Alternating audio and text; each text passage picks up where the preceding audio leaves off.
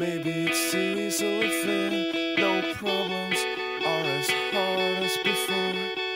Look for me under the pillows, hiding from self-created danger, sucking the dust.